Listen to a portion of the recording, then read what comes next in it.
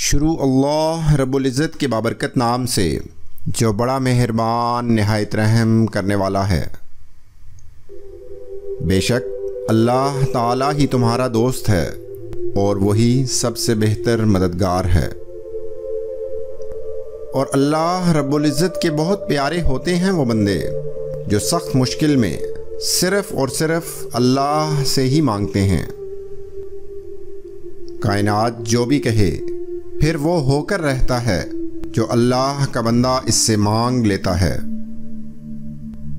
बेशक नमाज़ बेहतरीन साथी है, ज़मीन से कबर तक, कबर से हशर तक और हशर से जन्नत तक।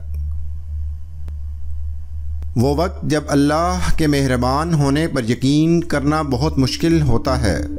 इन्हीं लम्हों में इस पर किया गया यकीन, मौजों का बायस बनता है।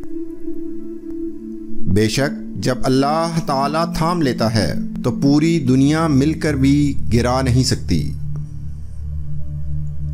तहजद की ताकत तो ऐसी है कि ज़िंदगी दिनों में बदल जाती है, और कभी तो लम्हों में।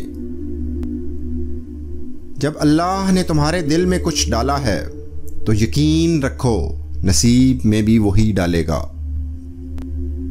मेरी मुश्किलों से कह दो मेरा अल्लाह बहुत बड़ा है।